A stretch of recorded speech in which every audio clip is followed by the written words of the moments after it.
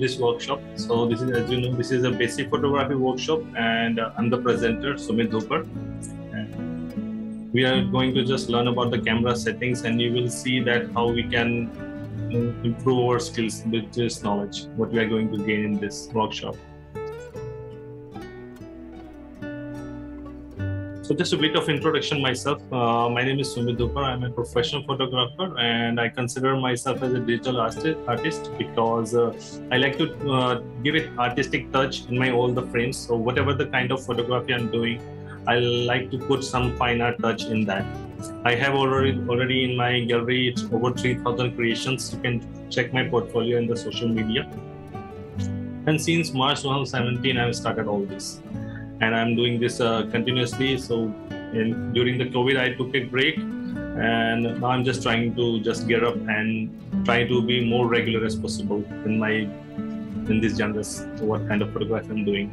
So I like to do still life photography, nature product, and recently I've developed my still for portraits. And I like to spend time in minimal art portraits, minimal art and macro work. So and street life because these are the genres which helps me to develop my skills in uh, 360 degrees so i'm trying to just uh, do some test photography based on these uh, skills. Macro photography helped me to be, improve my concentration level. Minimal art was helping me to improve my composition skills because i need to just work with the minimal elements in my photography. Street life photography I like to do to capture expressions because I like to do lifestyle photography and that helped me to develop my skills in that. And as I said, I like to give a canvas or touch uh, feel in my old photography work. And I'm offering all my photography services through my website, sumitphotoworld.com. And you must have visited my website and you must have seen that what kind of uh, work I'm doing there.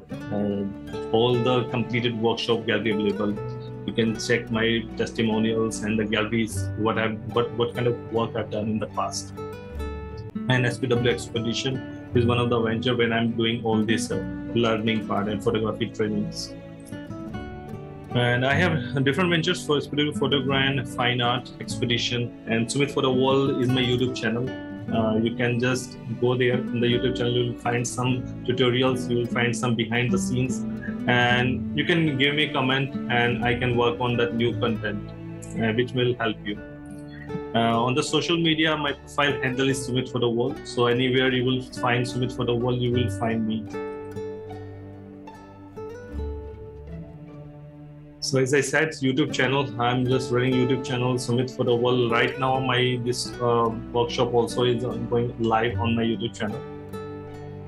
And on this channel, I have my three play- playlists. SPW launch, where I'm going to present a kind of tutorial related to post processing, kind of Photoshop and Lightroom. I'm doing, I'm using most of the time. So I like to do some training part on that. So I've given uh, some videos already there uh, where I'm covering some basic parts for Lightroom and Photoshop. And SPW Expedition, whatever the workshop I'm doing outdoor, uh, I'm, I'm publishing there in that playlist. Just for inspiration, you can see that or my previous work there. As SPW BTS, it's a behind the scenes. So whatever the work I'm going to do right now, I decided. So whatever new project I'm going to do, I'll create one behind the scene video so I can show that how I developed all those photos behind the scenes. You can subscribe my channel and you can share your feedback, suggestions, so I can make new content for that. So this is scheduled for today's workshop. So we'll have two sessions, both will be 60 minutes and we'll take 10 minutes break. We'll have some extra time for Q&A session if required. If you feel uh, you can uh, just note down the questions and we can bring we can go in detail for the discussion in the qa sessions. But you are allowed to raise your hand and you can ask questions in between during the uh, workshop. So it's not restricted. So whenever you feel you want to talk you can talk. So i like to be interactive sessions because it's a one way talking. Maybe you will not get some points. So you can stop me and you can ask for the clarification. We can go for small discussion on that. Video you can start if you want, but I do not recommend because it'll help to improve the uh, performance of this uh, video session. and you can keep add your questions in the chat box uh, or in, in, the notepad you can note down the questions that you want to ask uh, for the qa session so without wasting much time because we are already delayed 15 minutes uh, we are starting delayed uh, this uh, we usually start our workshop around time only because it's a time restricted and we do not want to waste much of it so let's start how DSLR camera works. So this is our first topic. So whenever we want to learn photography, uh, before starting this, I want to ask you what camera you have. Okay, you want to stay muted. Okay, you can type in in the chat box. No problem with that. So what what camera you have? I just want to uh, know that. So what understanding you will have you will get out of this. Okay, you have Fujifilm G7 great. Uh, so hopefully this will help you to understand the components, how DSLR works. So if you can see the diagram here, we have uh, two diagrams. One is where the DSLR diagram at the normal state when we are not doing shooting, and the other is the uh, moment of the time when the DSLR is capturing image. So, so how it is different. So you can see the uh, components here. You can see the lenses inside the body, uh, inside the lens uh, you can see the group of lens elements here. So these are lenses and how the light travel inside pass through the lenses and you can see the light when once it's coming to the uh, DSLR sensor it's coming horizontally but we have viewfinder so how it will reach there. So we have reflex mirror here. Reflex mirror what it do? When we press shutter release button it will just let that uh, uh, reflex mirror go up and capture the image. But before that what it will do? It will let that light pass through the reflex mirror and reach the pentaprism so it will make that horizontal light vertical and reach the pentaprism. And the pentaprism what is doing it is just making that vertical light horizontal so we can uh, see through the viewfinder. So it's uh, letting the uh, light pass through the viewfinder and that's how we see the frame uh, when we are looking through the viewfinder. But at the time of uh, shooting reflex mirror goes up and it'll let the light directly reach the sensor. You can see the strip line at the end and that's how the image getting recorded when we press the shutter release button. And these are the components. We have lens we have reflex mirror. As i said this is the reflex, reflex mirror. It is always stays at the 45 degree angle. But at the time of shooting it'll just right uh, go up and let the light reach the sensor. Matte focusing screen. This is matte focusing screen at the top. Pentaprism this is the you can see we can easily identify this is the pentaprism and eyepiece this is the viewfinder and focal plane shutter. So this is the focal plane shutter you can see here. So when we say shutter release button, uh, it means it's a button which is opening the shutter. So that's why we have name like that. And sensor, we have sensor at the end. This is strip line you can see at the end, red line. So this is the sensor where the image getting recorded. And this is what what, what uh, I have explained on this uh, you can just go through the recording of this session and you can read through read through all but this is what explained uh, in the content here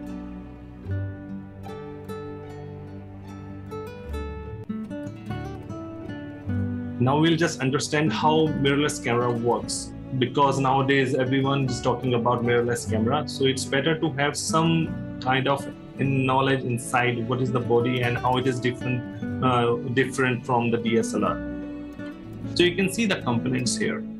So there are a lot of components in the DSLR body you can see.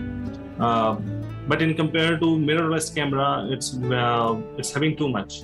But in mirrorless camera, you can see the a lot of components taken out, and we have just lens. We have shutter plane there, this shutter plane, and the sensor. And there is one new member here in the components. We have electronic viewfinder. So this is the kind of a interesting uh, component in the mirrorless camera. People talk about uh, mirrorless camera because it has electronic viewfinder. So it means it's uh, uh, recording the images live. So anything which we see through the viewfinder, it is going to record as it is. There will be no change and even the exposure, contrast, colors, everything will be the same as it is looking through the LCD on the mirrorless camera.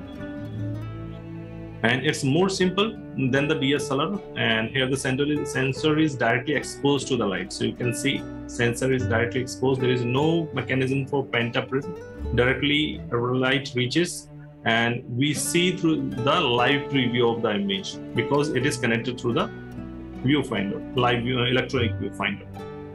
It generates a live preview of the scene directly into the electronic viewfinder. And that's the mechanism. It's the same component. And when we press shutter release button, again, it will just open the shutter and let the image, uh, let the light reach the sensor and record the image. And it's the same uh, process what it, what it, it has been in the DSLR. Benefits of mirrorless camera. So now we'll just understand some benefits of mirrorless camera.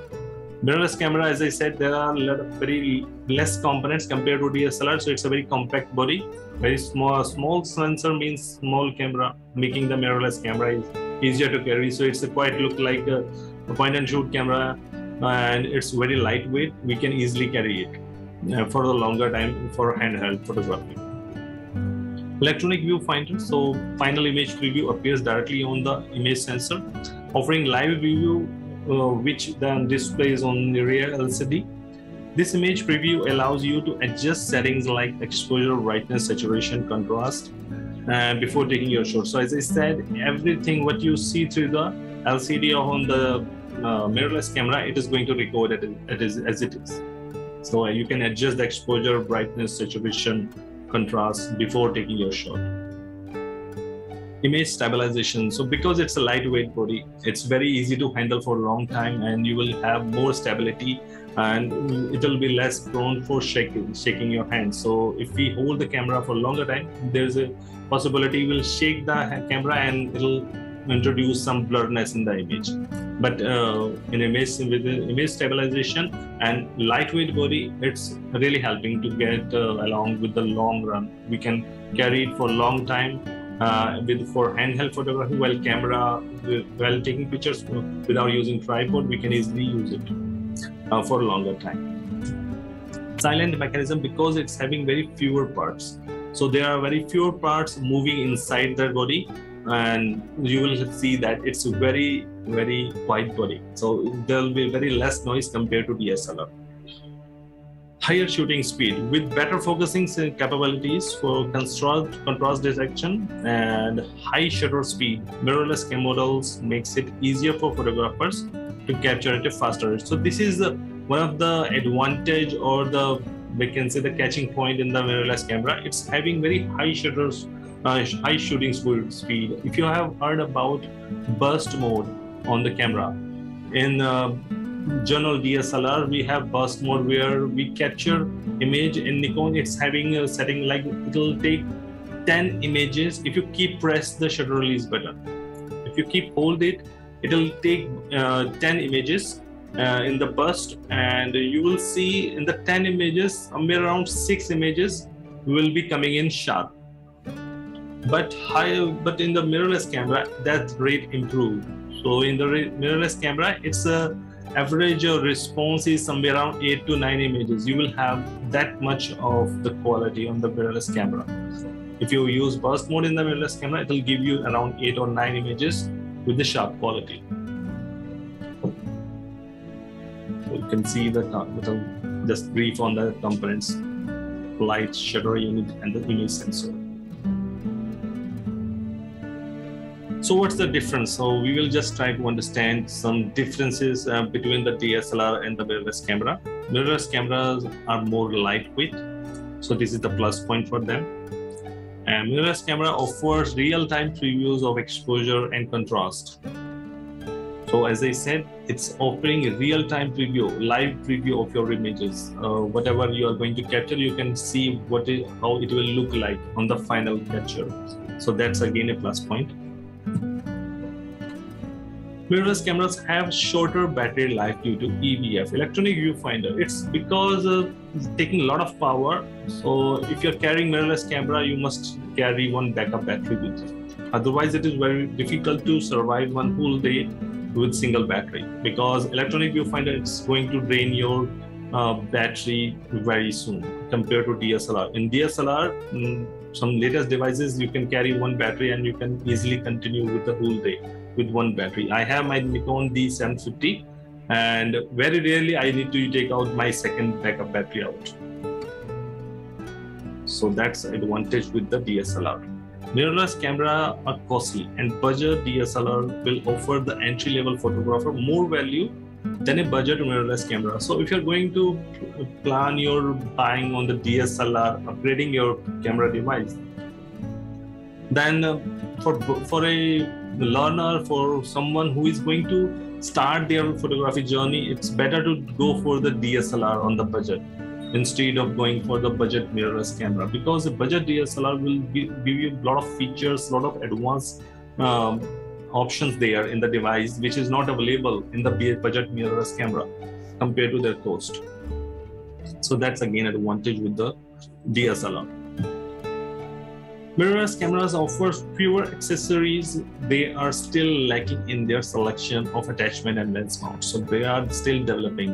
Compared to dslr will still have a lot of uh, uh, third-party companies. We are offering accessories for the DSLRs more compared to the mirrorless.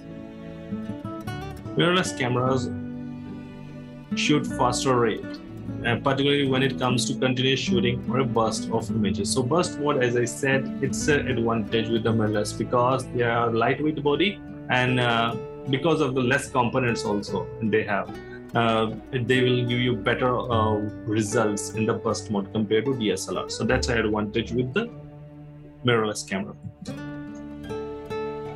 Mirrorless cameras offer more image stabilization. So lack of a mirror mechanism means mirrorless camera offer more image stabilization and less shaky photos. So there is no reflex mirror there. And there is no pent-up light reaching directly to the uh, sensor and that's why it's a very improved image stabilization we have in the mirrorless camera. Mirrorless cameras have smaller sensor size uh, compared to DSLR. So this is something uh, we can say the strong point we have in the DSLR, and that's why they are still leading the market. And when we have small sensor in the device, it means it's not good or ideal for low light situations when we have low light situation, uh, we'll have DSLR with a bigger sensor and it'll help us to get more uh, light out of the, the, gloomy situation. If in the evening, late hours, you are trying to take a picture or in early hours in the morning, then DSLR will be having better opportunity of give you better uh, results compared to mirrorless.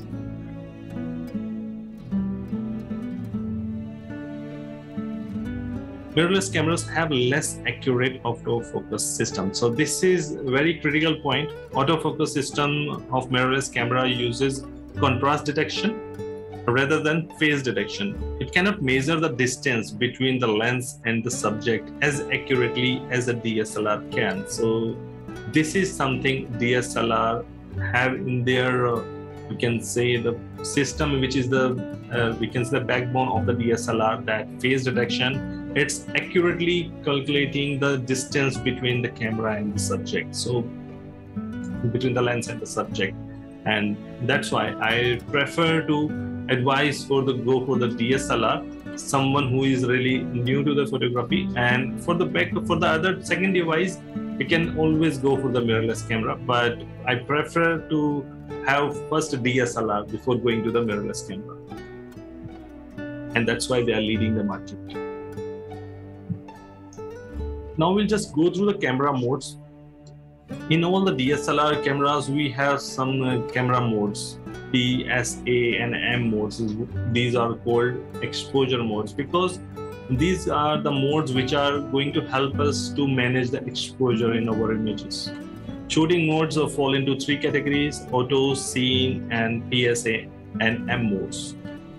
PSA and M modes we have separate category because these are semi modes. In auto and scene modes, uh, the camera controls shutter speed and aperture. It means if you are in auto and scene modes, camera going to control everything in your device. So uh, you will get exposure accurately every time, but you will see some. Uh, uh, it's giving quite a flat images of. It means it's not having the. We can say the real feel of the DSLR. I've seen images captured from the DSLR. They look like they're captured from the mobile phone. So that's what uh, happen if we do, if we are not utilizing the device uh, with their potential. We'll see the quality is not matching and PSA and M modes are also known as exposure modes because they are going to manage the exposure and give photographers a choice to which elements of the exposure, aperture, or shutter speed. So these are the key elements of exposure they wish to control. So in the semi modes, we have control on one of those uh, aspect. Either we can control the aperture or shutter speed. So in the Nikon device, I have a uh, dial button from Nikon and Canon. In uh, Nikon, you can see it's a very simple notified M A S P. M is for manual, A is aperture, S for shutter priority, and P is a programmable mode. In Canon also we have similar, but instead of A for aperture, it's having AV, and for shutter priority, it's having TV. Bow and rest two are same. M for manual and P for programmable, programmable mode. This is we call programmable flexible mode, and we will understand in the coming slides why we call like this. And in this info screen, this is the info screen from Nikon device. That's how the details look like in the info screen. We can see the uh, shutter speed and what aperture we have set and this is the light meter. This is very critical point. If we are in the manual mode we can utilize the light meter to uh, to just calculate that how the light will uh, look like in the final capture. It will going to be underexposed overexposed or the balanced exposure. We try to keep it around in the middle. If it's going more in the negative side it is going to underexpose if it is going on the more positive side then it will going to overexpose the image. And you can see the iso we can see and the number of images battery powers all these things we can see in, on the info screen. You have to turn off the lcd on the device and press the info button on the camera and you will get this screen. Now i'll just go a little detail on these camera modes. Mode p program mode so this camera automatically, the camera automatically adjusts the aperture and shutter speed for optimal exposure. So if you are in program mode, and if you change the to the program mode and just move your uh, lens to in different different lighting conditions, and you will see that combination of uh, shutter priority and aperture will keep change. That's what happened in the program mode. Program photographer can choose from different combination of aperture and shutter speed. That will produce the same exposures. That's why this is known as a flexible program because you can use this mode in any light situation. Any time of the day you can use this mode p and you will see the exposure or every time coming good so you will never see that there is a underexposure or overexposed image. And you have to take correct focus on the subject. That's uh, really the key point. And mode s shutter priority. Uh, it's a shutter priority while when we say shutter priority it means our priority is to control the shutter speed. So we are going to control the shutter speed and camera going to adjust the aperture for us for optimal exposure mode a and it's just opposite of that mode s and then camera going to uh, control the shutter speed here. We are going to control the aperture. So that's what the mode S and mode P. And mode M, as it says manual, uh, you are going to control everything, uh, every aspects on the device. Shutter speed, aperture, you are going to control. You can manually adjust both the combinations, what suits your photography, and you can utilize that for more creative results. Providing greater uh, providing the greatest latitude for creative expression. So when we say like this it means we are sometimes we are going to uh, make our image uh, with purpose underexposed and overexposed. That's where the creativity comes choosing the wrong uh, wrong combination could however result photographers that are overexposed or underexposed so if we are doing with purpose that will that we call as a creativity if we are doing without purpose we want good exposure in our image but it happens to give us underexposed or overexposed, then we say it's error. So it can be error, it can be creative results. Uh, it's up to you what you are trying to achieve. We therefore recommend using a camera exposure indicator as your guide when choosing the aperture and shutter speed. So when you are in manual mode, keep an eye on the light meter and see that how the light meter is behaves. And you can adjust these settings, these combinations of shutter speed and aperture to get your desired result. In all the three modes, P, S, and A, exposure is automatically adjusted for optimal results. So PSA, PS, and A modes, uh, your good friend. So whenever you feel that uh, you're not comfortable with the M mode, so you can work with these th these three modes, and you will get good exposure all the time. Now we'll just understand exposure balance EV. So exposure compensation we call it and we can see the button on the device with the plus minus signs some square box you, you can see on the canon and the similar we have on the nikon. On the fuji device uh, i see the dial button here. So this that's how the manufacturers uh, have their own uh, we can say the differences and significance uh, how they can show their device and controlling the same settings but having kind of different, uh, you can say the notification or the symbols on the device. How to make your photos lighter and darker. So you can see the image here,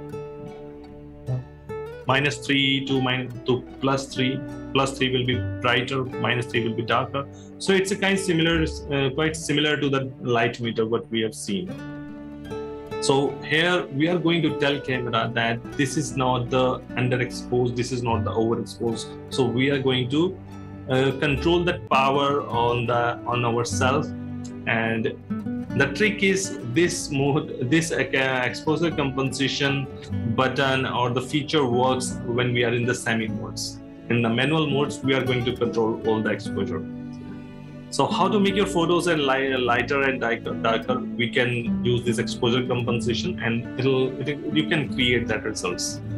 Camera light meter is not error free. So sometimes you will see the camera light meter is also not giving the results. So we have to adjust the exposure compensation. We can work with the semi modes and we can utilize that. Exposure compensation definition can be described as a way to override the camera metering so we can meter, we can override the camera metering settings. So we have a um, dedicated part here uh, in the end where we'll just study the camera metering modes and this exposure composition can help us to overcome that. This works well in optimal light conditions and weather. So when you have good light condition, it will give you good results uh, because in uh, low light condition or the light condition when not suitable, uh, for the photography, you will see it's not helping. Exposure composition is only available in auto and semi modes. So as I said, it is only available in semi modes.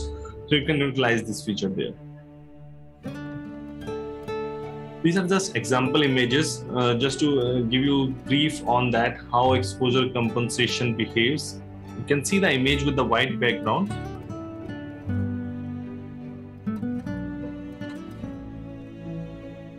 uh, we have a vase, flower vase in a white background. At the zero balance, it means nothing overexposed, nothing underexposed. You can say that it's not looking pure white. But to make pure white, we have to make it plus two exposure. We have to adjust our exposure compensation to plus two.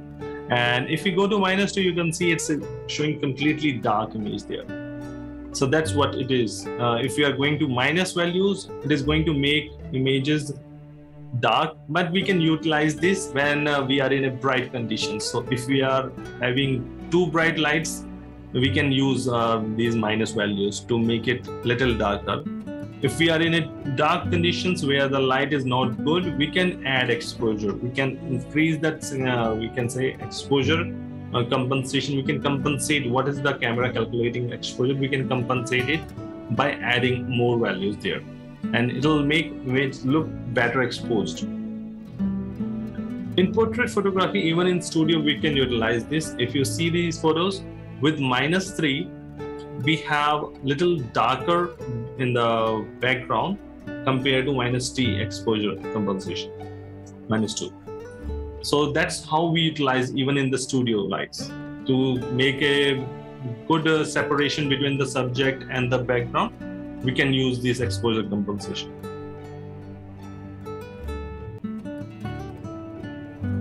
now we'll just understand um, some detailed about shutter speed because we are going to cover all the aspects of the exposure as a definition, shutter speed is the length of time that the camera shutter remain open and allow the light to reach the camera sensor. Some people call this as exposure time, and that's that's what how, we can um, certify or how we can um, identify or calculate all these terms. Exposure time, shutter release time, shutter speed, all quite similar. So to freeze a fast moving object, uh, we have a shutter speed of 1 by 4000 to 1 by 1000. These are fraction of seconds. So that's too fast. Even the nowadays we have devices where it supports 1 by 8000 of shutter speeds. So that's how uh, uh, we can say the faster speed we can get. And uh, if, if, if, you have, if you are capturing hummingbird, uh, we say 1 by 4000 is also not good enough to freeze the bird freeze the bird feathers. It's so fast. And 1 by 250 and 1 to 1 by 160. These are good for journal photos where we do not have, we can say so much movement or there are very slow movement. Uh, we can move between 1 by 60 to 1 by 250 and we have slow shutter speed or long exposures with the 1 by 2 to 1 by 30 so these are the range for shutter speed where we consider these as long exposure to blur the motions. We can create motion blurs in consistent movement. So when there is a consistent movement, so like we are capturing a waterfall, it's consistently moving at the same, uh, falling at the same speed. So there we can adjust our shutter speed to create motions in that flow. We have very high, uh, very long exposure also uh, like the 2 second to 10 second. You can see this value. When you see a single digit on the device it's, uh, it notifies that we are in the seconds not in fraction of seconds. When we are seeing one by something digit it is a fraction of second otherwise if you see single digit it's a uh, seconds 2 second to 10 seconds consider this a long exposure to paint with light so if you are doing light painting uh, photography, then we go for that much of a long shutter speeds. Uh, we can capture stars, fireworks, and to make river water as a glass. So if we are uh, on the river side, you can use the long shutter speed. Uh, if uh, it's very dark or at you can say in the evening time where the light is not good, you can utilize this long shutter speed without using any ND filter. That's a neutral density filters which helps us to block the light reaching the sensor to get more shutter speed, to get long shutter speed, I should say. So to create those uh, long shutters, uh, long exposures in the good light condition, we can use those ND, ND filters. This is the example image. Uh, we can see the faster speed making that subject look freeze. But with the slow shutter speeds, we are seeing everything around the subject is still, but the subject still itself moving. So it's creating a motion there with the slow shutter speed. Shutter speed, uh, we can see the values here, the dial button. As we have seen, this is how we select the shutter, shutter priority mode. And uh, we can go for shutter speed as low as 30 seconds and as high as 1 by 4000, but latest devices. They have uh, we have some uh, pro pro devices where they are supporting 1 by 8000 of shutter speed.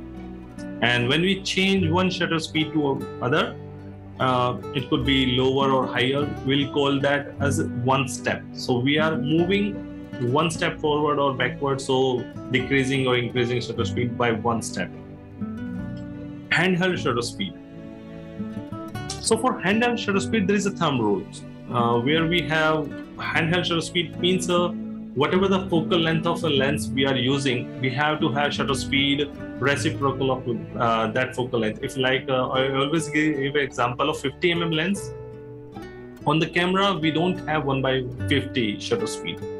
So how you will how you will manage it? So when we don't have it means we have to go one step higher. So we'll have 1 by 60 of shutter speed. That's how we calculate the handheld shutter speed. And if you have VR function or image stabilization on your device on your lens keep that on when you are not on tripod. But when you are on the tripod turn that off. Otherwise you will see the blurry or shaky images are coming even if you are in good shutter speed so this is a keynote you should keep remember it these are dslr handheld techniques. So this that's how we uh, hold the dslr device. We have the knee bend the elbow plant. So we are just planting our elbow on the hard surface and the T-Rex, what it says, it's the very orthodox uh, combination or the form of holding the DSLR, where we keep our elbow we're near to the body and make our palm like a stable uh, platform to place our device. That's how we make a stabilization uh, more and uh, we can say without the tripod, we can have good handheld uh, photography without tripod. If we are giving more stability to the device and the dot strap is like that. We are just stretching that with the strap. And it's helping to give more stability because there is not so much movement. Now we'll just talk about aperture. The definition for aperture the aperture controls f-stop. We always uh, when we talk about uh, aperture it's f-stop. Controls the amount of light reaching the sensor through the lens. So we, sometimes we call this as a eye for the lens eye, uh, eye for the device, the camera. So lens is having uh, like eye and the aperture is eye uh, for the inside the lens where we can keep it full open or we can just change, we can control that uh, hole of that, uh, how the light will travel to the lens. Uh, we'll just see with the examples, you will understand better.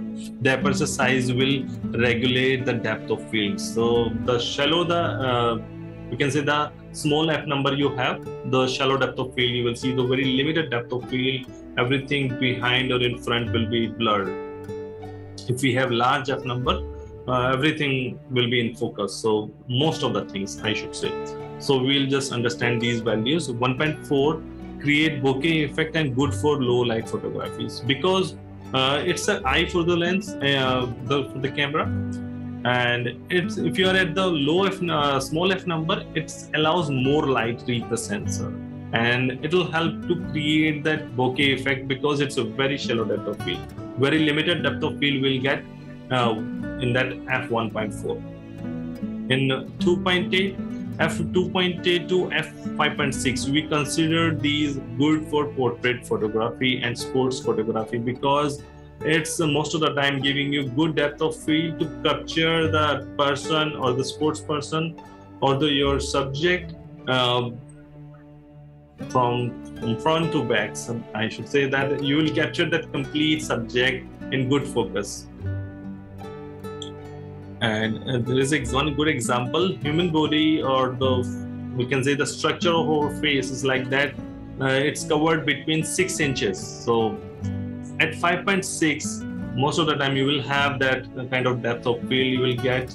You have to focus on the eye. So every time we are taking a focus we always take focus from the eye.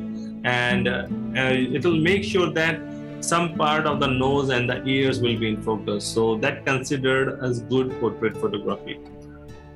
F8 to f16 good for landscape uh, to get increased depth of field. So when we are going to f8 or above it means we are uh, let me just change the camera battery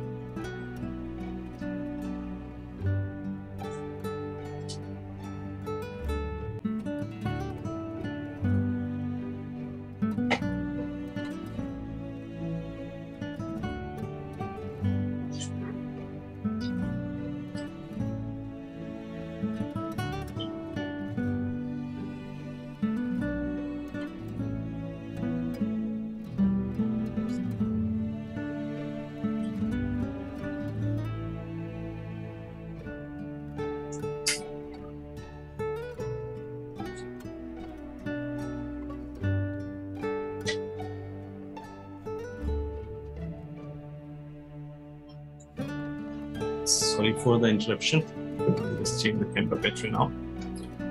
Okay, we were talking about f8 to f16. So it's considered as a good for landscape uh, photography because it increases the uh, depth of field.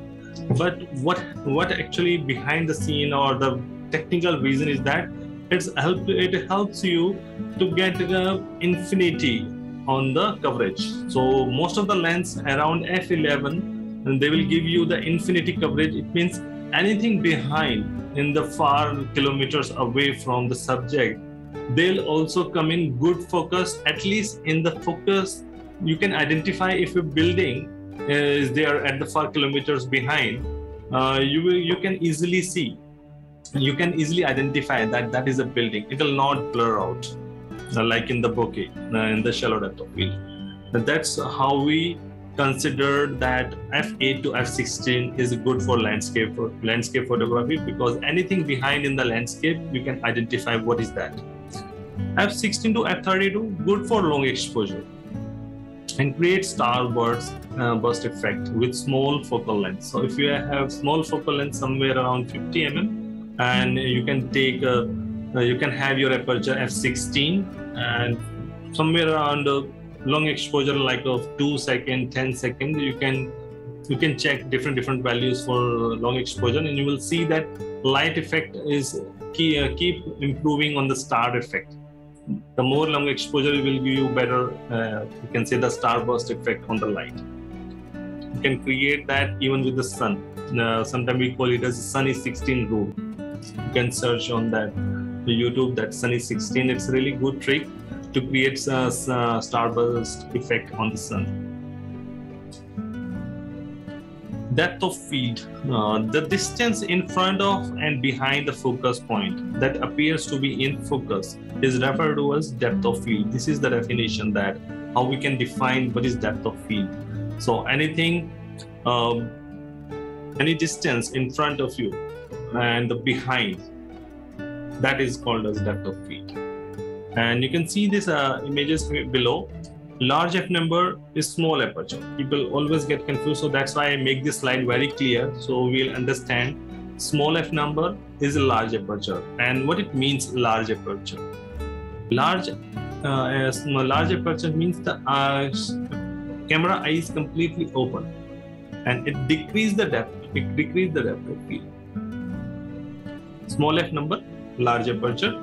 You can see the focus is in the middle of the box and the box behind and in front they are out of focus. But in small aperture when we have large f number small is really uh, hole is really small but at the cost of its increase the depth of field so anything in front behind all are in good focus. So that's what we have the effect of uh, our f number but it'll stop the light. The hole is really small it'll stop the light. So light condition is not good then we could not go for this.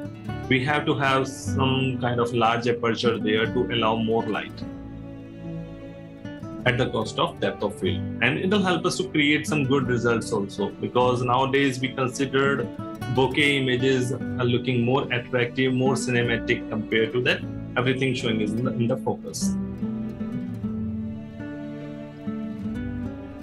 So this that's how the dial button looks like on the Nikon device. This is the Nikon device dial button. And the F numbers as low as we can have f1.4 depends on your lens. Some lens will have their low as low as 4.5 if you have Nikon 70 to 300 mm lens. F uh, 4.5 is available on the uh, 70 mm and if you go to 300 mm you will see it's not letting you go below uh, 5.6. So 5.6 is the limit for that.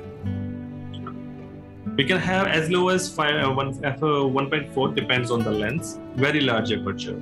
f2.8 is something we call it as a large aperture and medium aperture is ranges somewhere between 5.6 to f8 if you are in f11 then we'll call it as a small aperture where it starts to getting smaller f22 is really very small aperture and this is the uh, these are this is the, the symbols to make you better understand small depth of field if we are going to lower the f number, it'll just uh, make the depth of field smaller and but lighter also. You will get good light. And for if you are going on the right side uh, to increasing the f number, the depth of field uh, will increase large depth of field you will get. But it will make the image look darker compared to the small uh, f number. Now we'll just talk about iso sensitivity.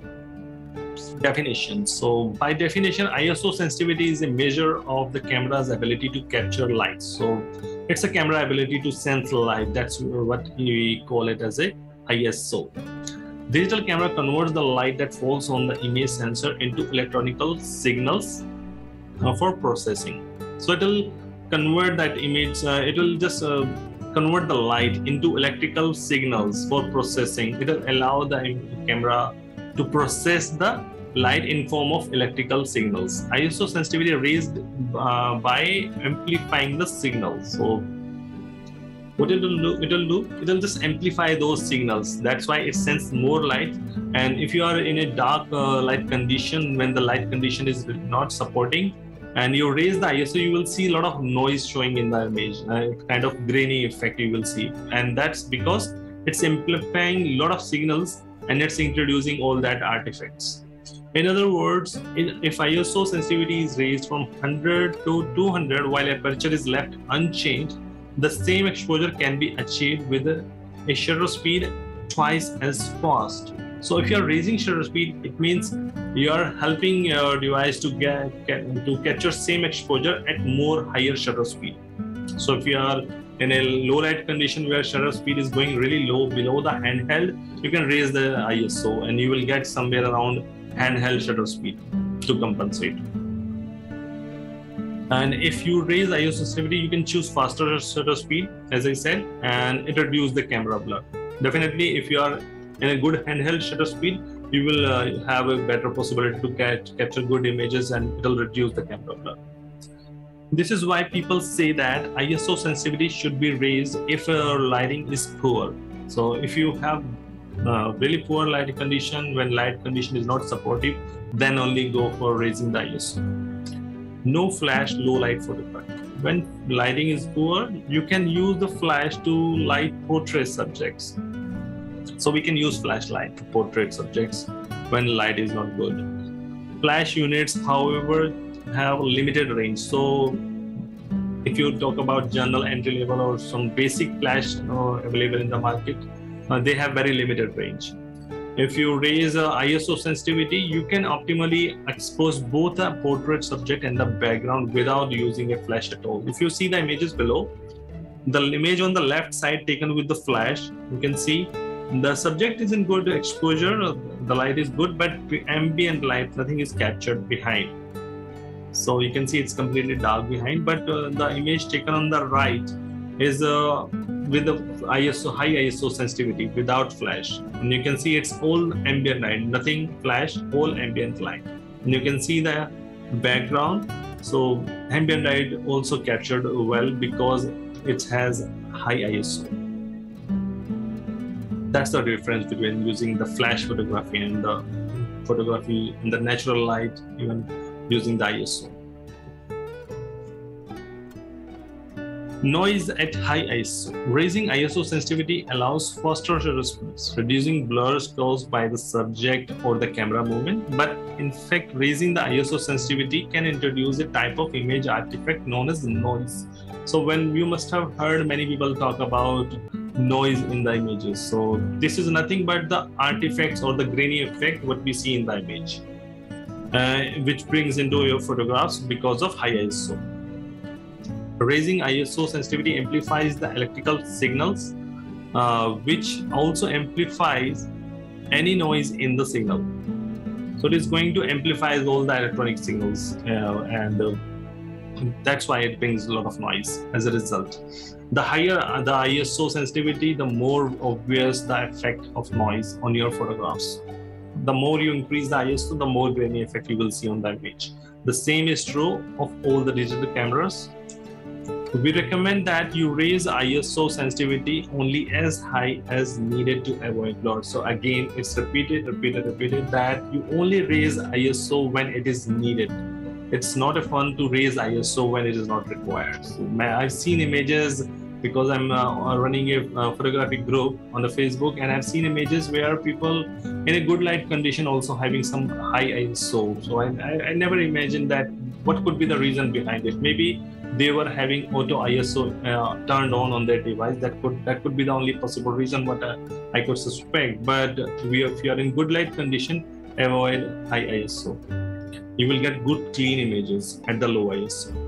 ISO sensitivity can be set manually by the photographer or automatically by the camera.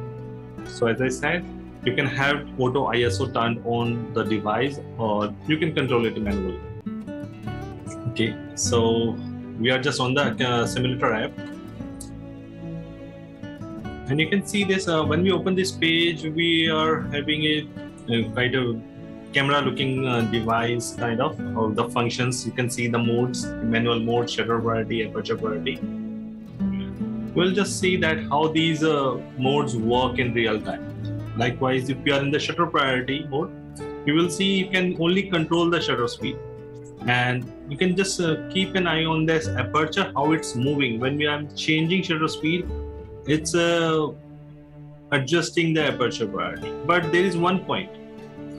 So at this point, if I'm going to lower, if I'm going to increase the shutter speed, it is going to adjust the ISO because it's an auto ISO. It's going to adjust the ISO to make that image look uh, in good exposure. That's how it works. And in the motion, you can see if uh, we are at the long exposure, one second, it's completely motion and if we are going high shutter speed it is going on the freeze that's how in real time also it works let's take a photo with the long exposure with one second it's showing that it's good exposure just on the one slightly over but it's good exposure you can see that and what was the setting? Shutter speed 1 by 1 and aperture is f22 ISO 200. Remember that uh, at this shutter speed, anything that moves that fast will be close to invisible. You can see that uh, fan wings, it's invisible. To capture the movement, increase shutter speed. So now we are going to increase the shutter speed. We are going to just make it 1 by 4000 and ISO increase to 6400 and just capture it. You can see the aperture f2.8. can see uh, something in the foreground and the background is blurred. That's the effect of 2.8 shutter speed 1 by 1000 4000 aperture 2.8 iso 6400 now we'll just go to aperture. And it's just opposite of that. If we are going to change aperture it is going to adjust the shutter speed because we are an aperture priority let's take that one photo with f2.8 and the shutter speed is 1 by 80 ISO 400. You can see the similar effect we have. The it's a we can see some, we can feel that something is move something is uh, something was there as if wings and blades. And if we are going to f22, shutter speed will be very low, one by three seconds, because it we are on the aperture priority and camera has to manage the exposure. So what it's going to do it is going to lower the shutter speed to uh, to let more light come into the sensor. It's quite similar but you can see everything is in good focus. Foreground background is in good focus but we are in manual mode. If we are in manual mode uh, we can control anything so we can just select over customize setting. Aperture will be f8 we'll see the shutter speed 1 by 30 second. It's giving us a good exposure. We'll just make it little underexposed. Yes little little underexposed. On the 2 minus 2 we can see that very underexposed but to compensate to get more light what we can do? We can increase the iso 1600 so this is what we have in our customized setting. We have f8 and uh, iso is 1600 shutter speed 1 by 2 no, 1 by 125 so that's how we can play with the manual so when we are uh, practicing the manual mode that's how we can get more creative results more desired results in the camera when we are in the dslr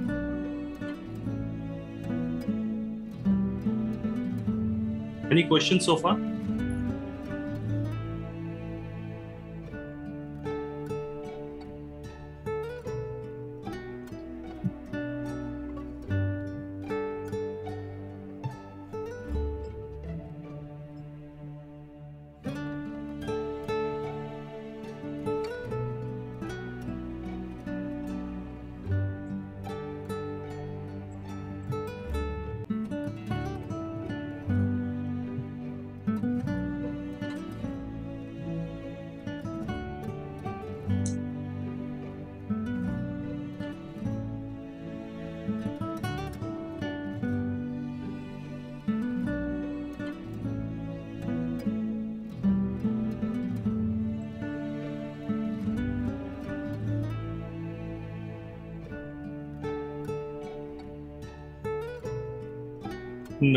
Exposure will be same.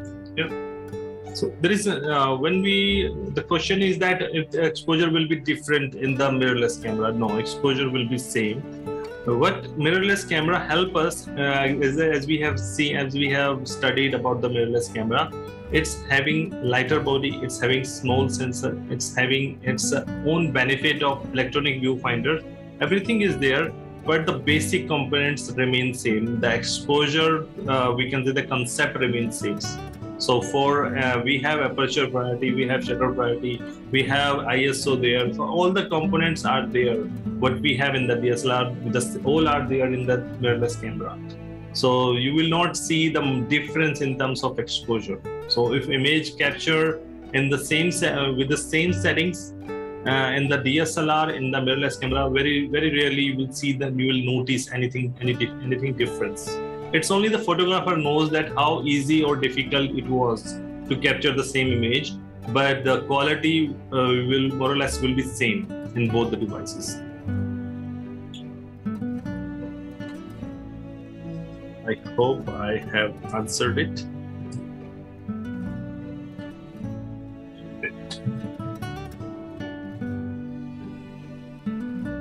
let's move forward now. We have completed that simulator.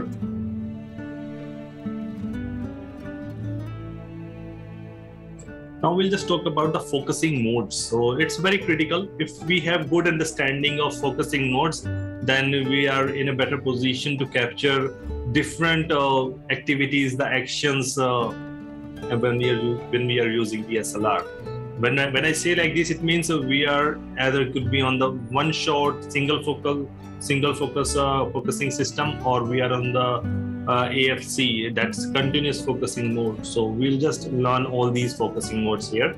So when we talk about one shot focusing modes, so in Canon we call it as a one shot, and Nikon we have uh, this uh, called as AFS. Now we can see the single focus which represents a single focus capability. So if you are pressing shutter release button halfway, it'll just say take the focusing calculation once. So it'll if you change the uh, we can say the distance between the subject and the camera or subject uh, make a movement, it will not refocus. Even if you have your focal point right on the subject, it will not refocus. It will not recalculate the focus. So that's the limitation of uh, one focusing mode but it will save a lot of battery power.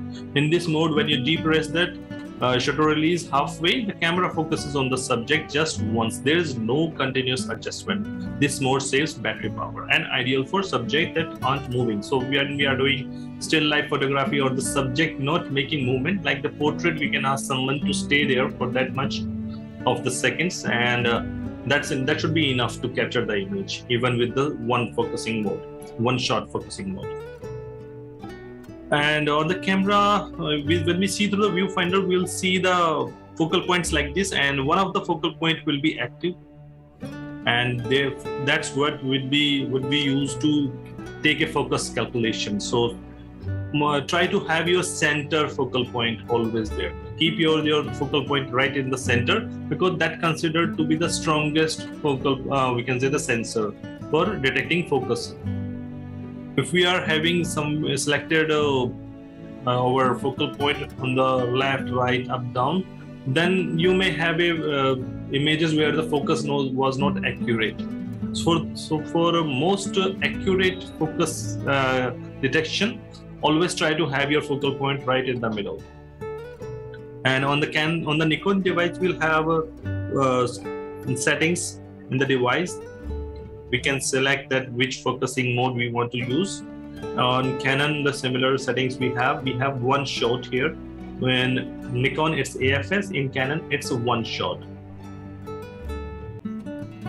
Continuous focusing mode. So it's just opposite or we can say that it's uh, works in just opposite uh, conditions of photography compared to uh, afs AI Servo AF, we call it in Canon, and in Nikon we call it as AFC, stands for continuous focus. So in this mode, it's uh, most useful for keeping moving subject or object look more sharp uh, within the viewfinder as you track the object. So you need to track the subject. You need to keep your focal point right on the subject. Uh, in continuous focusing mode, the camera detects the subject's movement and refocuses accordingly to keep the subject as sharp as tack. So we, we call most of the time in photography tack sharp images which means they are accurately sharp images. But in continuous focusing it's helped you to uh, take good tack sharp images but you have to keep your uh, focal point right on the subject. Even if subject making movement you have to chase it. You have to keep your focal point right on it. Because if subject miss uh, your focal point or you miss to chase that uh, frame it well on the subject then you may have focal point on the different element in the background. So what it will happen? It will take focus from the background not from the subject. And this modes use a lot of battery power because it is continuously focusing and refocusing. It is quite similar uh, to the electronic viewfinder that any component which is keep using that uh, a battery and it is going to drain the battery very soon. So the same applies here for continuous focusing. If you are in AFC continuous focusing mode, AI servo, AF in Canon, then it's going to use the battery a lot of. So try to have your AFC mode on when it demands. When you have a subject where you're trying to track it, track your subject. Mm, there are multiple ways to track your subject. You can use 3D tracking option in the uh, Nikon device, automatic uh, selection in the Canon. So all these are supportive things which are available when you are in continuous focusing mode. And you can utilize that and it will help you to track the subject. But it is going to drain the battery power. So I, my personal uh, practice is just to keep always be on the single focusing mode and when it demands, I change to AFC as continuous focusing on and then switch back when it works completed. That's how I just uh, keep switching between those modes. And on the info on the camera screen, you can see here focusing modes AFC on the Nikon device on the left. On the right, we have Canon, and it's we call it as AI servo automatic focusing mode. So as the name suggests automatic. This camera going to select your focusing mode. It means if subject is making a lot of movement camera thinks the subject is making movement. Even if you are making movement camera take a image in afc mode continuous focusing mode. And if subject remains still uh, then camera think that it's a still subject. It'll just take the photo with the AFS or single focusing mode, focusing uh, mode uh, with this image to capture. so you have to remember that photography can be an, uh, an art, and in that art, you have to go with what's in your mind. So sometimes, with purpose, we make things look out of focus to add some creative touch. And in those, uh, we can easily use a single focusing mode because it is not going to calculate the focus again. You can make things look blurry in the background, foreground. You can add more creative results in your photography. This mode maintains focus if you change the subject or subject moves as i said it is it, uh, it is camera going to decide uh, if subject is making movement or not so that's what that's what if you feel com- not comfortable with those modes uh, to switch between those modes then you can have auto automatic auto focusing modes. It's just for the beginners i should say. Manual focusing mode so this is manual focusing. So it's as the, name suggests, it's a manual. It means we are going to control the focusing system that it should be in the manual or in the automatic. We have switches on the lens. You can see AF, MF. Uh, on the device itself, this is the device switch we have.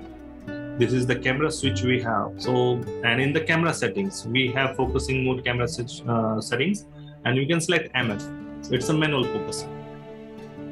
On the info screen, we can see AFA, it means it's an automatic or focusing mode. So that's how we can identify by ways and means uh, that which focusing mode we are using. So always try to have you practice to use switches instead of going into the camera settings because uh, changing or switching between the camera settings uh, by going into the device options sometimes it takes uh, it's difficult to do it very quickly and you will miss your shot so try to use the buttons instead and you will have more frequent control on that. On many lenses you have you would see AF MF switch for focusing mode selection. So you can see the devices you have, uh, the switch on the device, switch on the lens. So you can use this it can be frustration so sometimes and uh, then that's that would be the possible barrier between the good and the great photography when you want to work with the manual focusing mode so just want to give you a tip uh, that in uh, macro photography we always rely on the manual focusing it's very difficult to do micro adjustments for focusing or taking focus uh, when we are in the doing macro photography. So macro photography, we are in. Uh, everyone knows that professional they have to rely on manual focusing, and that always give amazing result. Uh, achieving perfect focus requires using a distance measurement on the lens barrel and even perhaps measuring the distance from the lens to the subject with a tape measures. This will give you most accurate focus point. So we can use depth of field calculator we can use uh, exposure calculator we can use measuring tape also so even the physical tape you can use to calculate that uh, distance between the lens and the subject you can calculate what will be the depth of field you will get on that distance and accurately focus you can measure on that. Many professional uh, documentary uh, photographers they, they use to use that technique. Manual focusing mode. So just to continue this this is the manual focus when you are in manual focusing mode and uh, you you are viewing through the viewfinder you can have diopter adjustment on the nikon device it is there. I'm not sure if another device we have but uh, uh, we can use this diopter adjustment to adjust the for we can say the viewfinder according to our eye. So we don't need to wear specs. We don't need to you have your glasses on while you are using the uh, your device. And you can adjust the diopter and it'll adjust the uh, your device according to your eye so anything any irregularity you have in your eyes it will be adjusted for for better focusing without using your glasses. And you can use the depth of field preview button. So some devices will have pv button preview button. So you can see the uh, exact kind of quality you will get after image being captured. So it's a kind of electronic viewfinder uh, feature uh, that what how the image will look like on the final capture and this is more advanced technique for photography. Manual focus is essential when you focus on a non-traditional subject.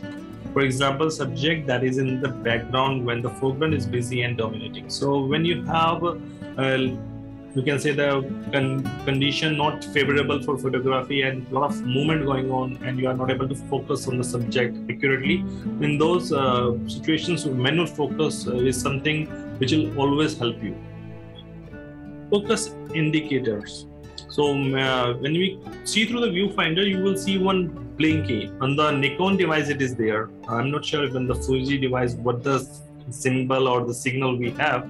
In Canon, it beeps. In Nikon, there's a blinker. Uh, when we can see through the viewfinder, that blinker keeps blink, and when you have your subject right in the focus, uh, it'll stop blinking. In the LCD view, the red square will become green, and in the in the Canon device, it also beeps. That's how it uh, notify the photographer that subject is in good focus. And it works even when we are in the manual mode manual focusing mode. If you are in the manual focusing mode you have to just halfway press the shutter release button and keep adjust the uh, uh, focus on the subject. Keep your focal point right on the subject. And once it is in good focus it'll give you a signal that right the subject is in focus and you are in the manual focusing mode. That's how we can adjust it. And this could help you to get the subject intact sharp when having manual focusing mode. But you have to rely on the good lighting condition. If light condition is so poor you can't even see the subject clearly then it will be difficult for you to adjust the focusing. Because uh, camera will not be able to identify uh, the subject clearly now we'll just go through the metering mode. So as we as we discussed at the start of this uh, course that we are going to discuss in detail about the metering modes so metering modes are one of the most powerful and underutilized settings on your digital camera. So have you have you ever used metering modes uh, with purpose? Have you tried to change the metering modes? You can give answer in the chat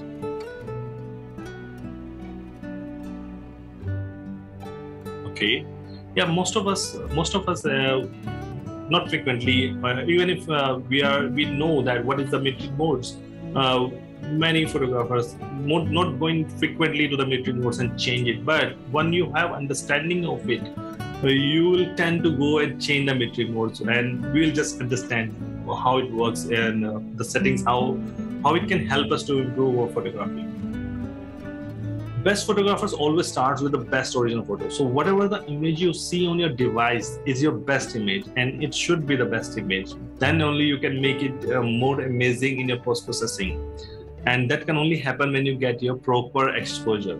And getting proper exposure depends heavily on how you control your camera metering mode. So it's a really we can say the most critical part in photography to control or to have a good hands on the metering modes. So all the professional photographers they know the importance of this, and they can they utilize their photography skills and to manage the metering modes.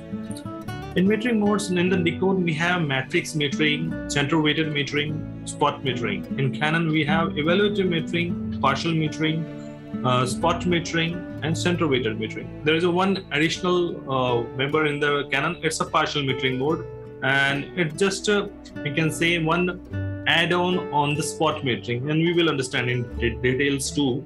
And similarly most you must have in the Fuji devices like the Nikon metering modes we have.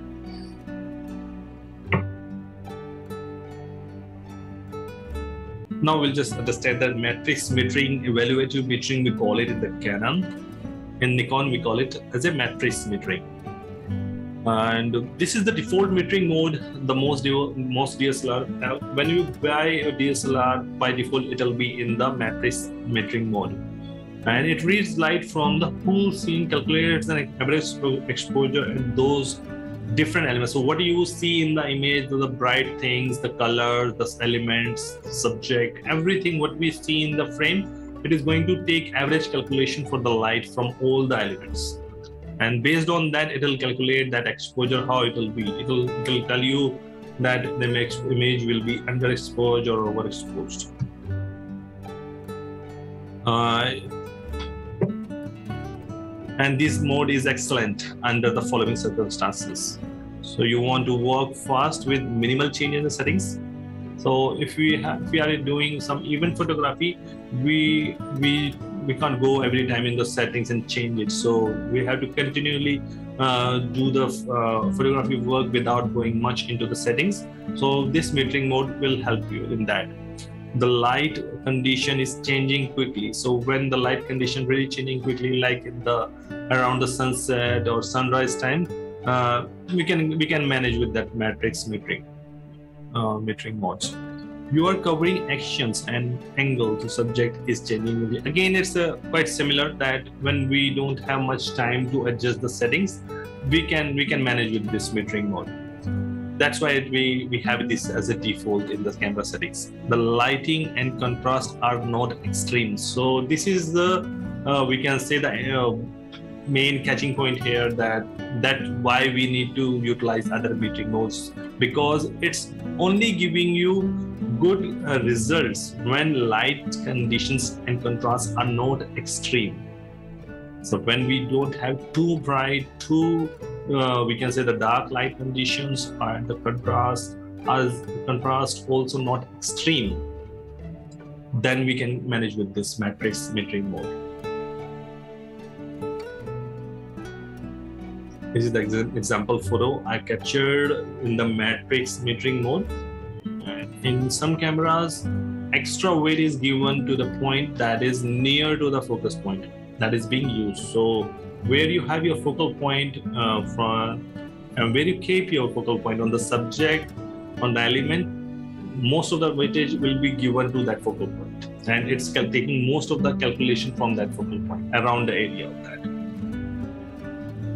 and overall it's taking the whole frame uh, for the image for the light calculation average calculation for the light. Center weighted metering this mode determines the correct exposure uh, from about 60 to 80 percent of actual frame and focusing on the center. So when we talk as the name suggests center weighted metering it means we are giving all the weightage all the preference to the center of that. And uh, we want our subject right in the center. Most of the portrait photographers they have yours they have their subject right in the middle and they use center weighted metering and so it is going to take most of the exposure from the face of the portrait of the subject right in the middle of the frame. The mode operates under the assumption that you will most likely center your subject in the viewfinder. So that's what it explained when you uh, when you would choose the center weighted metering mode it's perfect for even situations like a wedding. Most of the wedding photographer they love to use or they rely mostly heavily on the center weighted metering because not a lot of background lightings were there uh, will be there uh, in the event and it is not going to take most of the calculation from the background lighting. It will just try to take uh, calculation for the light from the subject you don't want the background to influence your metering as I explained. You try, you're trying to meter a light from object against a dark background or vice versa. You want to keep your subject in center within the frame, such as water. So as we have explained and discussed, we want to our subject right in the middle.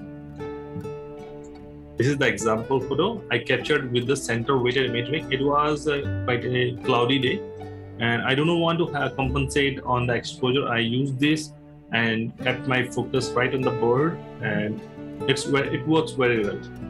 Most useful in event photography, where the use of spot metering mode is not practical. So, where you see the spot metering is not workable, not work, not giving you the or not possible to have spot metering, better to work with the center weighted metering.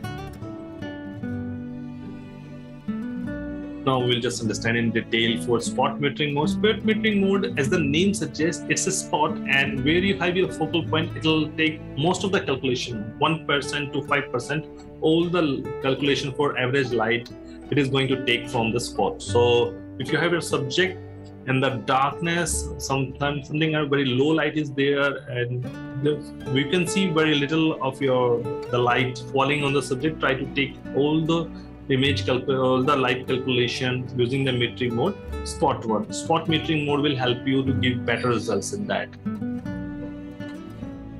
and it usually represents by a small red dot and fixed directly in the center when you see through the viewfinder You would use it uh, by pointing it at the subject element that you want to take the meter reading from. So we'll directly point it. We'll fill the frame. We'll zoom in. We'll fill the frame. We'll take the focus uh, or the metering mode, focal, uh, focal calculation, the spot metering, metering mode calculation. All this we are going to take from the subject.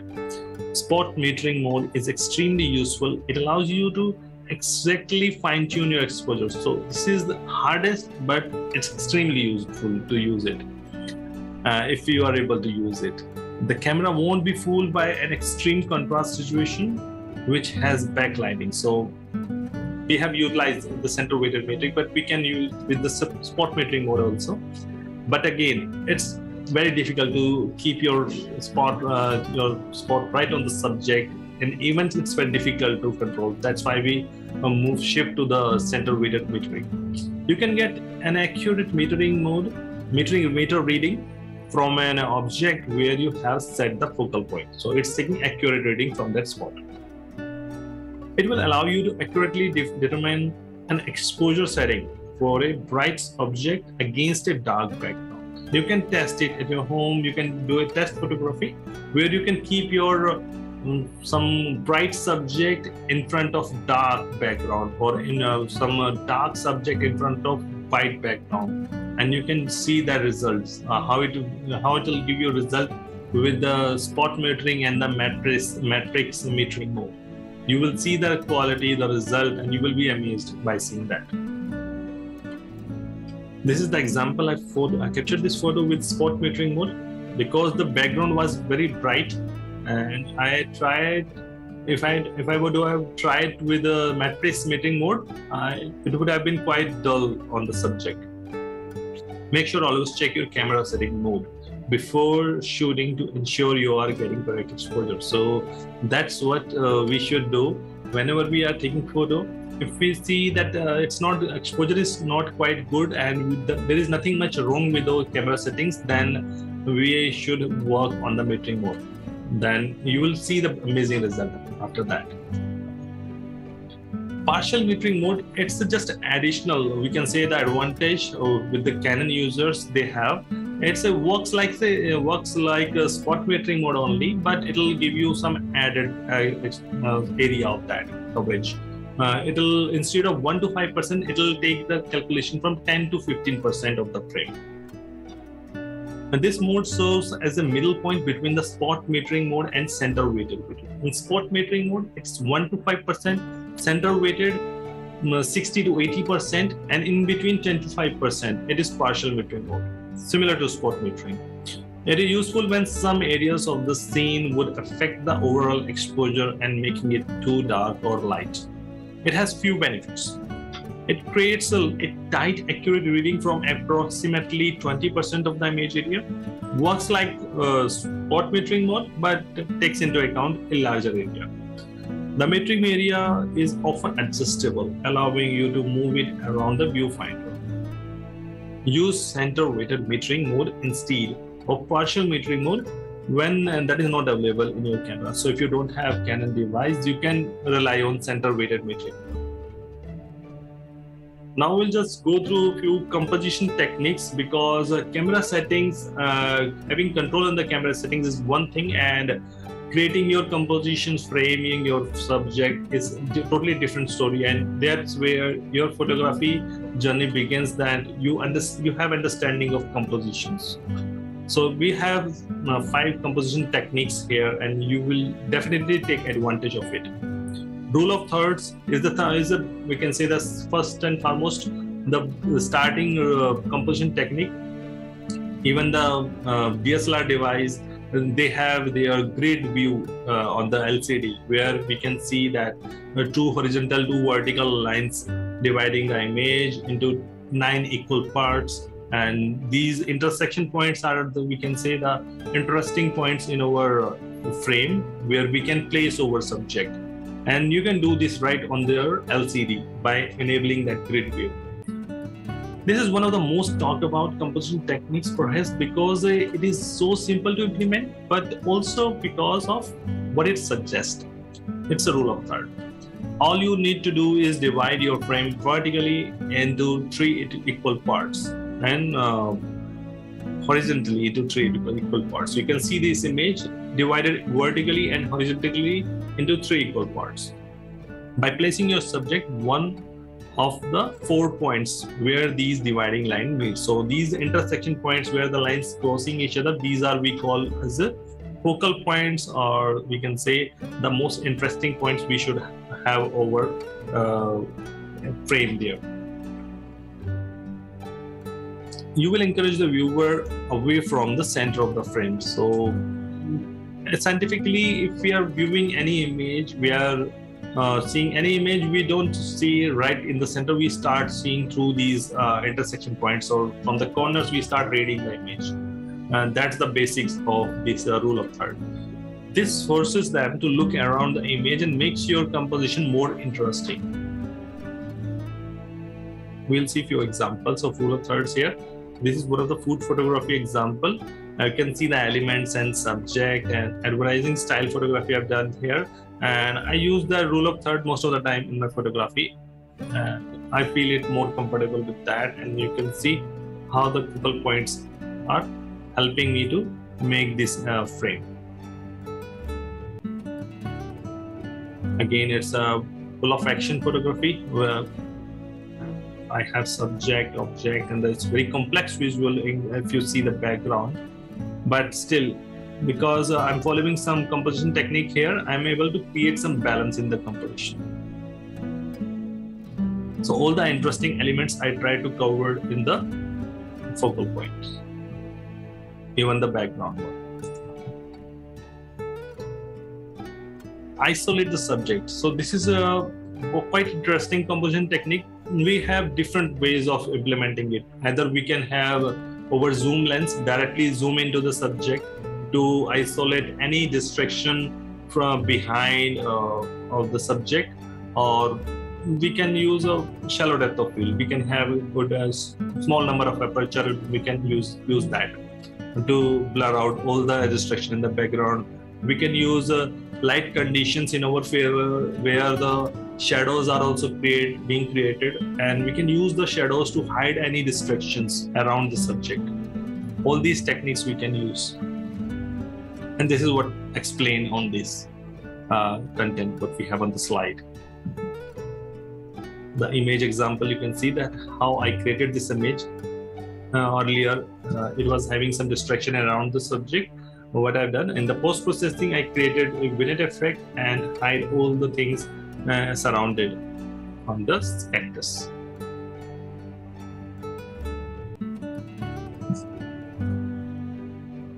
isolate the subject examples. So you can see the uh, butterfly here. I used a f5.6 on 300 mm lens and uh, it's a zoom lens. You can see the background is completely blurred out because uh, I used 300 mm and the tree, there was tree behind the butterfly. It was quite at some distance. It was around, I believe, somewhere around 30 to 40 feet away from that butterfly and it was good enough to give me a clean um, image of that butterfly using that technique. This is from street photography. I was on a 85 mm lens. It's the prime lens I have, and I was on 3.5. 3.5 was good enough on 85 mm to blur out the surroundings in the on the on the street. So even in the busiest background, I have blurred uh, the background and it, it gave me the quite good interesting image. Leading lines. So one simple way of use uh, to use your lines uh, is for their drawing power. So when we have lines in our frame it could be any line it could be created from the uh, street lines it could be nature uh, when we are doing nature photography we can use branches so any line you have in your image, you can use in your favor, and then you can create your composition. Uh, we call it as a leading line. So we have lines where it's leading to a spot. Sometimes we call it as a spot and line also. Uh, the composition techniques. Uh, so all these techniques we can use uh, in our favor. So if you see this image, uh, I have some lines around the buildings and it's reaching on the top and there is one bird if you can notice on the top I was fortunate where by the time I take a, took a shot, the bird came instead of a plane. I, I found a bird, and I found this image very interesting to me.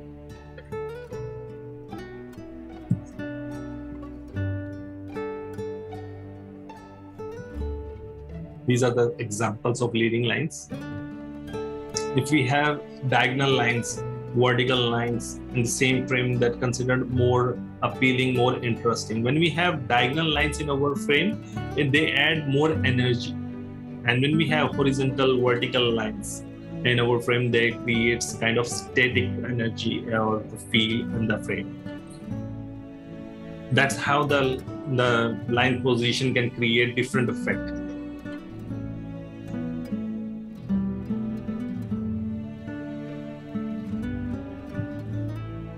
Zigzag line. So this is also considered as a leading line. In nature, we can easily find it. You can see one diagonal, diagonal line also incorporated in the same one. So if we have multiple type of lines in the same frame, that considered also good. Repetition. So as the name suggests, anything repetitive is showing in the frame that uh, that create more energy in the frame that create more interest in the frame. So objects can be arranged and uh, repetitive patterns in our photographs. Um, we can use the fence posts leading lines pedestrian crossings trees. We have a group of trees in the same line. We can use that. Anything can be arranged into a repetitive pattern uh, can bring great intensity to a photograph like this uh, photo you can see here. It's a nature photo. And the leaf pattern i like that in the repetitive form. Example of it. You can see this uh, patterns of uh, the crossing lines i've used it. I found this scene on the street photography workshop and it's really creates a kind of a harmony in the frame because of these patterns. Patterns not regular. You can see that even the patterns are not regular then also still still creating harmony. We don't feel any we can say the kind of uh, energy or intensity in the frame. We feel very uh, cool or calm by looking at this frame even if the patterns are irregular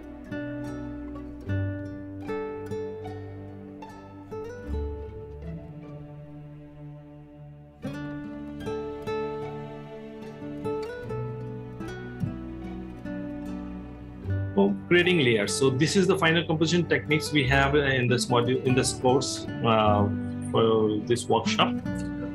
Creating layers. So this is one of my favorite uh, photography or composition techniques uh, for me because it helps me to create depth, create kind of cinematic view, the interesting. We can say that I can I feel more of more of a 3D effect in my image. One technique for adding depth into your images is a layering things up sometimes we call it as up things. Uh, there there are different different names uh, but the, the purpose or the visuality will be same. Uh, simply we can put our subject to cover one part uh, of your frame with something closer to the camera in order to give the illusion of depth. So you can see the vase i have. I covered this uh, i cut i just i can use i use this as my first layer I use this guy taking photo as my second layer because that's how I travel in the image. And the background or the person you can see in the background is my third layer, and there I kept the focus on this photo. I was covering one uh, local event, and during that I captured this image. You can use the leaves of trees uh, to uh, to frame a couple in the park. So you must have seen a lot of pre-wedding photographies where we see the photos where couple sitting in the park or somewhere where we are covering some part with the trees or branches or the leaves. That's how we create the effect. So this this is all the examples what I explained here but we can create our own creative creative results anywhere in the uh, in any kind of genres photography whatever photography you are doing you can have similar results using these composition techniques. And all of these things not only fill your frame with interesting elements and they further the story you are trying to tell. They can they help you to tell the story. They'll help you to create good story visuals in your frame um, by including all these elements in one image and just for conclusion these are there are 19 more uh, types of compositions so there are 19 more so i have 24 composition techniques covered in my dedicated uh, course uh, for composition, photographic composition. I have a dedicated course, four hours online session, where we'll talk about only composition techniques. And in this basic photographic workshop, there is only so much what I've, what I've covered. This is very huge topic. I tried to cover in two hours. I tried my best. Hopefully, it it has really helped you, and it may help you to improve your photography further. You must have some keynotes and you can note down just to make sure you are following in your future photography. Just a brief introduction on the Stellar photo, Stellar photo recovery software because I'm collaborated with the Stellar and they are having their software which helps to recover the uh, deleted files, deleted deleted images on your computer. You can use that. Even the uh, memory card, if got corrupted, uh, file got deleted, you can you can use that software and it'll help you recover the files easily. Um, even even if you have a large uh, storage device, you can easily recover that file if deleted or corrupted. There are options uh, to recover deleted photo. Uh, so you can recover deleted photo from the recycle uh, from the files. Even if you empty your recycle bin on your computer, you can still recover that from the location where it was and devices such as DSLR, hard drives, smartphones, SSDs, the digital camera, memory cards. All these storage devices, what you have, even the CD, DVDs are writable, of course. You can recover that. Supports recovery of raw file formats. So this is the, you can say the strong point of this uh, recovery software that it helps to recover raw file formats recover from formatted memory cards. Even if you have hard drive or memory card formatted, you can still recover the, the files from there. It performs deep scan uh, to recover every bit of uh, which what, what has lost in the deleted uh, deleted photos and videos, which are especially helpful in cases where uh, your device severely corrupted. You can easily recover using this uh, method recovery from formatted drive. These are the options there. Uh, recover from bad sector. So this is technical term. So in, in i will try to explain you in very simple language. The bad sector something a part of your storage device where the data is could not be we can say the seen or uh, read you can't do anything with the data because it's on the bad sectors. It can help you to recover the data from the bad sectors. Also works smoothly with high storage capacity media of up to 6 TB capacity. So even the higher, very large capacity storage you have, you can use this software for recovery. Okay, so this is the rating I have given to this software 4.5, and because uh, uh, the thing is, when we start the recovery process, uh, you can't you can't stop it once in say when it is in the final stage. It'll it'll give you keep uh, prompt you. It'll it'll allow you to stop it in the middle. But when you are doing final recovery, at the last phase of this recovery uh, during this uh, when you are running this software it will not let you stop it you have to let it complete whatever time it takes depends on the data how much data you are recovering so otherwise, it's a very uh, good software. If you uh, if you want, you can have your one month free license. You can send me email, and I can help you get a one month free license from the Stellar. I have my next special photo work workshop uh, next month. It's on 5th November. Uh, I have special photo work outdoor event and basic basic photography the same what we are doing right now every month i'm covering this and uh, one will be the morning outdoor event and in evening will be the uh, online session I have upcoming outdoor workshops. So I try to keep uh, continue these my outdoor outdoor workshops uh, in Pune city, of course, uh, for nature photography, birds photography, and street photography. So I'm just exploring more locations, uh, even uh, outside Pune also. So based on that interest and the possibility, I may have my presence in other part of the uh, India. So I'm just looking out the better options. Upcoming outdoor workshop. So this again uh, my special advanced photography workshop for light painting. I have on 8th October.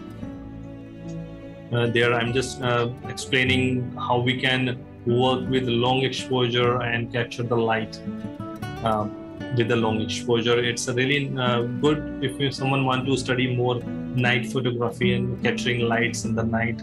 It's really good learning in that.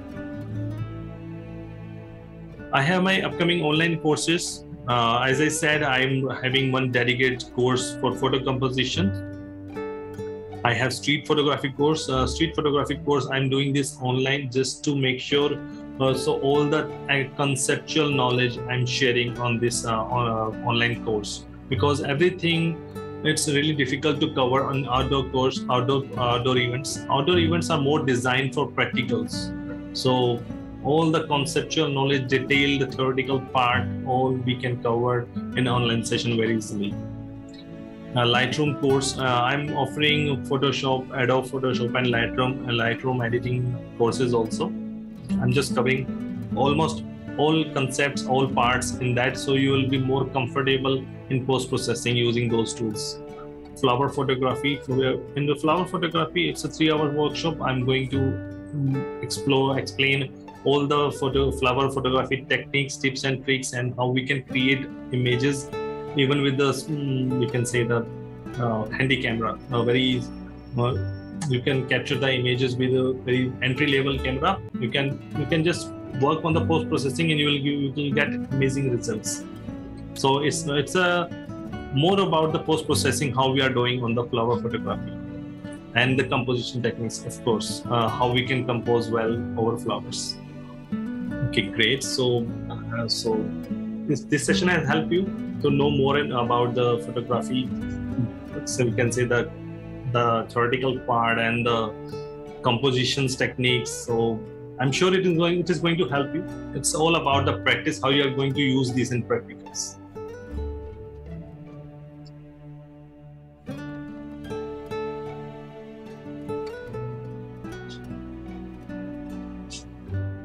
most welcome if i'm able to help you then it's a I'm feeling more more happy than you because I was able to help you.